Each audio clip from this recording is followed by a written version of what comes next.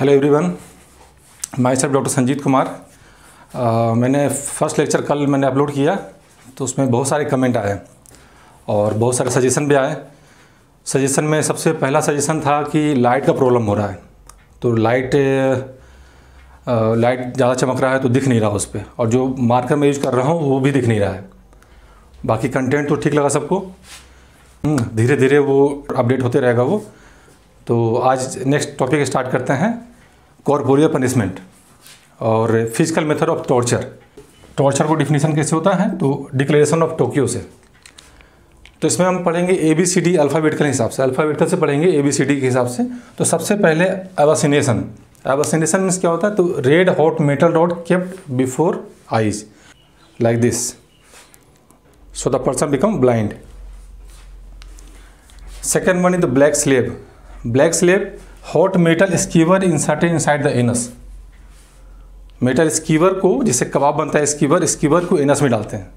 तो ये हो गया black slab then D for dunking victim is immersed completely in water victim is immersed completely in water this is called dunking then fourth one denailing forceful removal of finger nails और toe nails forceful removal of finger nails and toe nails called denailing flaying तो forceful removal of skin flaying means forceful removal of skin then next one falanga falaka bastinado और foot beating this is the beating on soles continuous beating on the soles इसको falanga falaka bastinado और foot beating then G for Glasgow grin Glasgow smile Chelsea grin और Chelsea smile this is the bilateral incision bilateral incision from the angle of mouth to tragus this is bilateral incision from the angle of mouth to tragus this is called chelsea green or chelsea smile grass grow green or grass grow smile.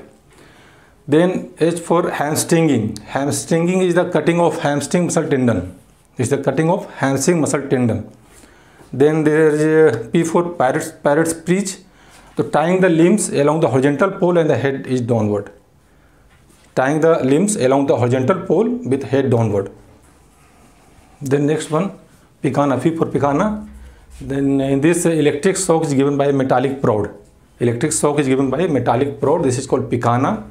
Then perilla. Perilla, victim is kept inside the metallic box and the electric shock is given through the box. This is called perilla. Victim is kept inside the metallic box and then electric current is passed through the box. Then plankton. Plankton is the to- torture by the long standing. This is called plankton. Then S for sawhorse. This is force steadiling. And uh, submarine. Then submarino or submarine.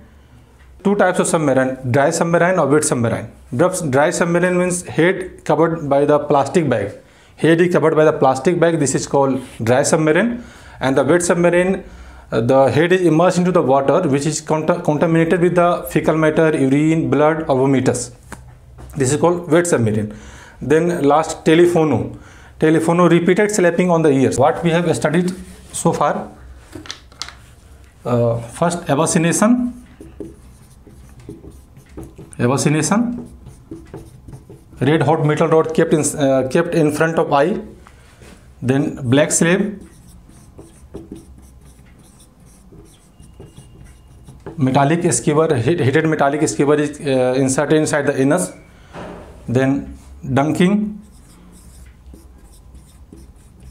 body is completely immersed into the water is called dunking then denailing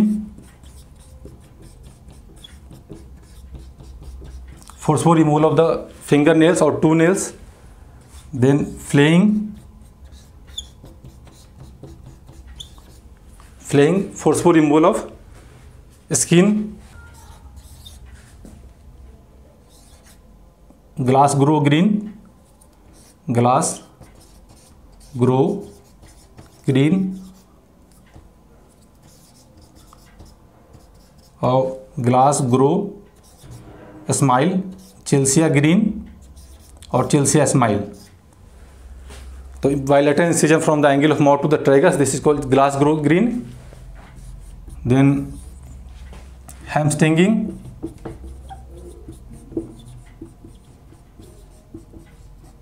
cutting of tendon of uh, hamstring muscle then 8 plankton prolonged standing picana electric shock by the uh, metallic rod perilla perilla victim is kept inside the metallic box and then electric shock is passed through the box then uh, sawhorse force straddling then uh, submarino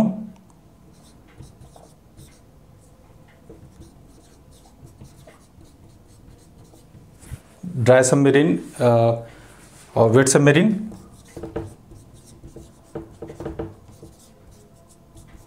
head is covered by the plastic bag this is called dry submarine and the wet submarine uh, head is immersed into the water which is contaminated with the fecal matter urine blood vomitus telephono